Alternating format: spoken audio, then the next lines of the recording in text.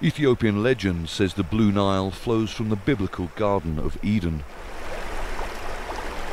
It has sustained millions of lives for thousands of years. The Ethiopian government says its Grand Renaissance Dam will put an end to centuries of argument over sharing this life-giving resource. Construction began in April 2011. The Ethiopian government is paying for the $4 billion project in partnership with an Italian contractor. Sudan and Egypt were afraid the dam would restrict downstream flow, but an agreement was signed by the three countries in March. The agreement followed each country conducting its own study and analysis by international experts. Before we enter into the contract, we have already assured that this is an environmentally friendly project, this is economically sound project.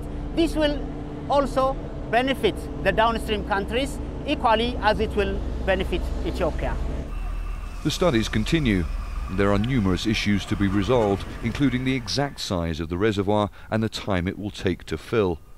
When the reservoir is filled, it will stretch around 240 kilometres in that direction, well beyond the mountains that you can see there in the far distance.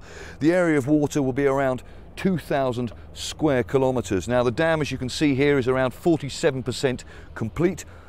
And when that reservoir is filled, the water level will come up to around about where I'm standing.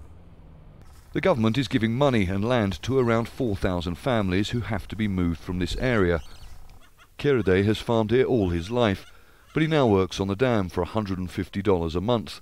He's expecting around $4,000 from the government to help with the move. I hope we are going to benefit because I'm going to buy cattle, goats, and maybe a house. Around 80% of Ethiopia's 96 million people work in agriculture, and that's something the government says must change. So the whole purpose is to get out of poverty. That's our agenda. The transformation cannot be done within agriculture. You have to move to uh, industry. The dam will generate 6,000 megawatts of power, and there are plans to sell electricity to countries as far away as Spain and South Africa. The government says the dam will regulate a constant flow downstream throughout the dry season and will stop flooding during the months of rain. There are uh, studies that should be conducted. They have to be conducted. And the outcome definitely will guide us how to work together. A pledge to change the course of this river's history and to improve the lives of millions who live along its banks and beyond. Charles Stratford, Al Jazeera, Western Ethiopia.